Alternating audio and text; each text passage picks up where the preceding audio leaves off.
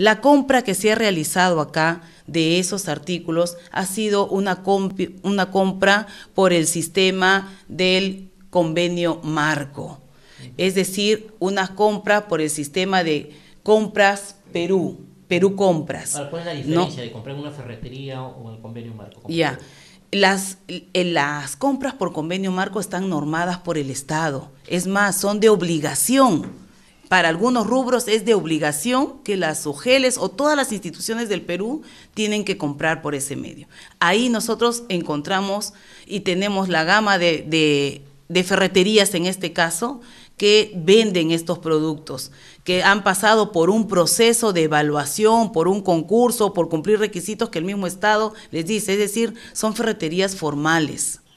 Lo que no encontramos, por ejemplo, en ese centro comercial Nicolini. Todos sabemos que en el centro comercial, incluso las dos personas que fallecieron, fallecieron ¿por qué? Porque estaban adulterando las marcas. Es decir, yo puedo ir a ese centro comercial o se podía ir a ese centro comercial y, después regresar y decir, hemos comprado lampas tramontinas y tal vez no nos daban tramontinas y nos daban otras marcas.